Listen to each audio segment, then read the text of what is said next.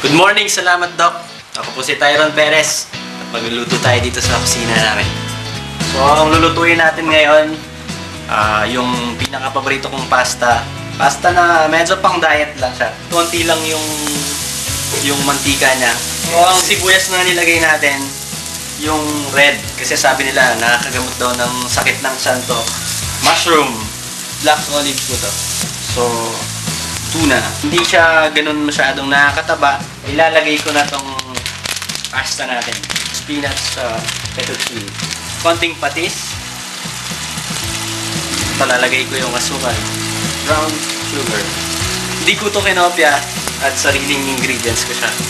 Pero ito, medyo nakakataba yata ng konti to.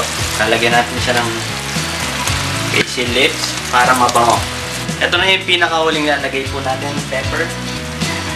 Para medyo konting hanghang.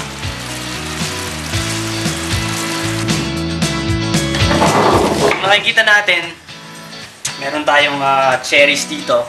Ito yung aking ah, kinakain pagising ko. Ito ay ah, apple cranberry. So maganda daw to sa katawan natin, kaya ito yung juice ko.